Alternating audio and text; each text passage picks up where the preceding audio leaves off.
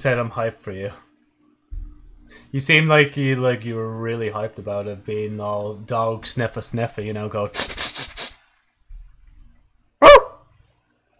I'm not doing that again. I am never doing that again. I regretted that the moment that came out of my fucking mouth.